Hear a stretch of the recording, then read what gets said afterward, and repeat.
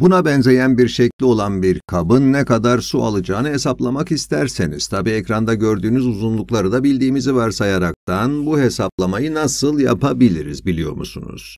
Bu kabın alacağı su kabın hacmine eşittir öyle değil mi? Karşımızda çok da alışık olmadığımız bir şekil var. Bu ne bir koni ne de bir silindir ama ikisinin arasında bir şekil olduğunu düşünebiliriz.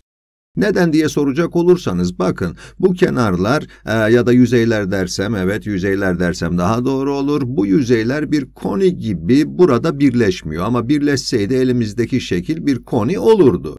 Bu şekle evet arkadaşlar kesik koni adı verilir.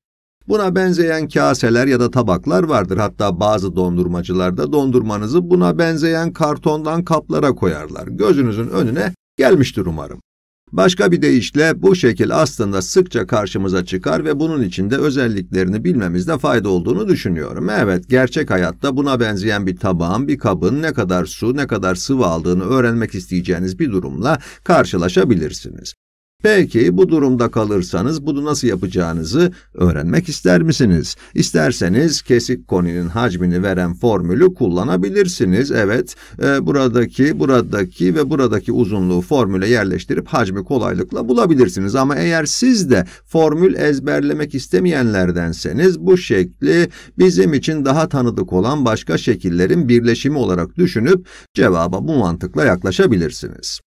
Ve ne kadar da şanslıyız ki bu şekli ekranda gördüğünüz bir koninin bir parçası olarak düşünebiliriz. Koninin bu kısmının kesilip atıldığını varsayacağız, anlaştık mı? Koninin hacminin nasıl hesaplandığını biliyoruz öyle değil mi? 1 bölü 3 çarpı taban alanı çarpı yükseklik yani 1 bölü 3 pi r kare h. Bu büyük koninin hacminden buradaki küçük koninin hacmini çıkarınca da şeklimizin hacmini bulmuş olacağız. Stratejinin ne olacağını öğrendiğinize göre şimdi hemen videoyu durdurup bu kesik koninin hacmini kendi kendinize hesaplayabilirsiniz. Tabii bu arada bu hesaplamayı yapmak için gerekli olan bazı uzunlukları bilmediğimizi de fark etmiş olabilirsiniz. Hemen gösteriyorum. Bu hesaplamayı yapmak için büyük koninin ve küçük koninin yüksekliğine ihtiyacımız var ama ikisini de bilmiyoruz. Aslına bakarsanız bu iki yüksekliği dolaylı yoldan bildiğimizi söyleyebilirim. Nasıl mı?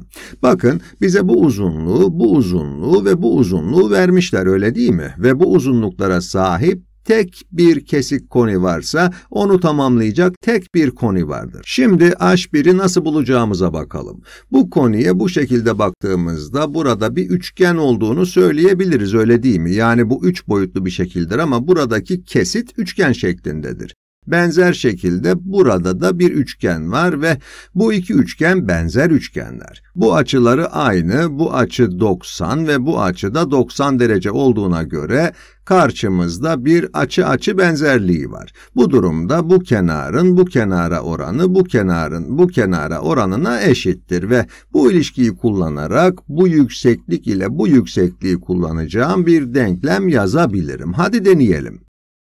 H1 bölü 6 ya da H1 bölü H2 diyelim. Evet 6 bölü 9'a eşit olur. Hemen yazıyorum. H1 bölü H2 bilinmeyenleri bir tarafa aldım. Eşittir 6 bölü 9. Buna ek olarak H1 ile H2 arasında başka bir ilişki daha var. H2 H1 artı 4'e eşit. Bunun için H2 yerine H1 artı 4 yazıyorum ve karşımıza 2 yerine tek bilinmeyenli bir denklem çıkıyor. 9 çarpı H1 eşittir 6H1 artı 6 kere 4 24. Evet. İki taraftan 6H1 çıkarırsak sol tarafta 3H1 kalır, sağ tarafta da 24 ve buradan H1'i 8 santimetre olarak buluruz. Bu şekli bir konuya tamamlayıp üçgenler arasındaki benzerliği kullanarak H1'i bulmak bu sorunun püf noktası. H1'i bildiğimize göre H2'yi de bulabiliriz. Burası 8, burası da 4 santimetre olduğuna göre H2 12 santimetredir ve artık soruyu çözmek için gerekli olan her şeyi biliyoruz. Büyük koninin hacmini yazalım. 1 bölü 3 çarpı pi çarpı r kare. Buradaki yarıçapa r2 diyelim. Evet r2'nin karesi çarpı h2. Bu büyük koninin hacmi. Bundan küçük koninin hacmini yani 1 bölü 3 çarpı pi bu yarıçapada r1 diyelim çarpı r1'in karesi çarpı h1'i çıkarmamız lazım. r2'nin, h2'nin, r1'in ve h1'in ne olduğunu bildiğimize göre geriye bu hesabı yapmak kaldı. Bunları 1 bölü 3 çarpı pi parantezine alabilirim. 1 bölü 3, pi yerine 22 bölü 7 yazalım. Şuraya da bir çizgi çizeyim ki karışmasın. R2'nin yani 9'un karesi çarpı, isterseniz bunun yerine de 81 yazalım. Evet çarpı H2 yani 12 eksi R1'in yani 6'nın karesi bu da 36'dır çarpı H1 yani 8. Birimi yazmayı da unutmayalım. Santimetre küp. Bunu hesaplamak için hesap makinesi kullanabiliriz ama ben daha önceden hesaplamıştım ve sonucu 716,57 santimetre küp olarak bulmuştum. Bu 716,57 mililitre ile aynı şeydir. Evet yaklaşık olarak 0,72 hatta 0,75 litre diyebiliriz. Bu kasenin hacmi 1 litreden az, yaklaşık olarak 0,75 litreymiş. Sorunu çözdüğümüze göre bunu daha da zorlaştırmanın tek yolunun size verilen sayıların daha karmaşık yani mesela ondalık sayılar olması olduğunu söylemek isterim. Eğer ondalık sayılar verilirse de işi bu noktaya getirdikten sonra hesap makinesi kullanabilirsiniz.